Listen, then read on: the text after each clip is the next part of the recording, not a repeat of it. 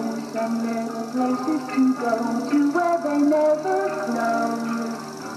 Downtown, just listen to